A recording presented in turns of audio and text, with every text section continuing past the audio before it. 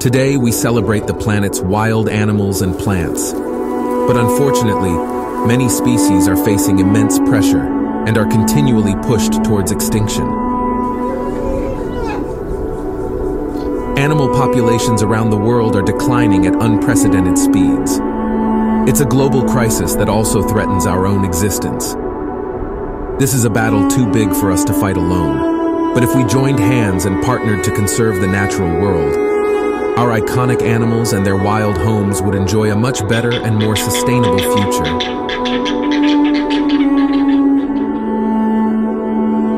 This year's World Wildlife Day is a reminder that we can form strong partnerships to stand tall and speak up for those wild species who need our voices the most.